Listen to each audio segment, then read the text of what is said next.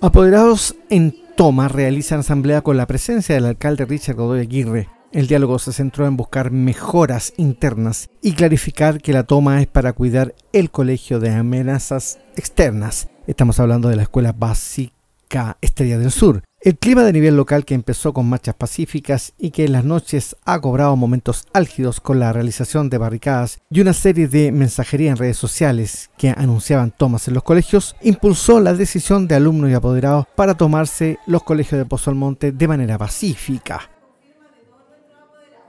Nosotros la toma que nosotros estamos haciendo es una toma apoderada y más bien para resguardar nuestro colegio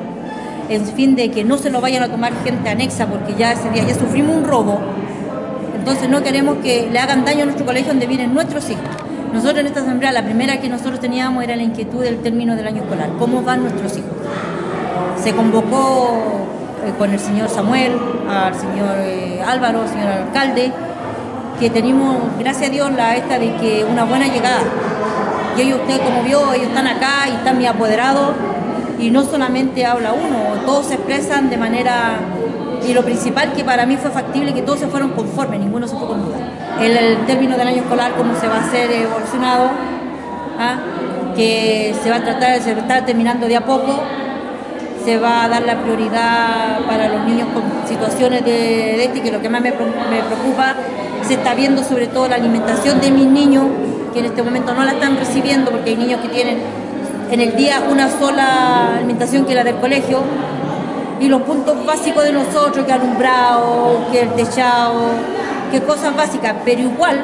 le aprovecho a dejarle claro que nosotros no los vamos a mover del colegio. No, nosotros no estamos en contra del alcalde, nosotros estamos también con nuestra gente del, pueblo, como se dice, porque también lo que estamos luchando, aparte de eso, eh, por lo que a nosotros mismos nos no queremos más FP, y en fin, por lo que mismo estamos luchando.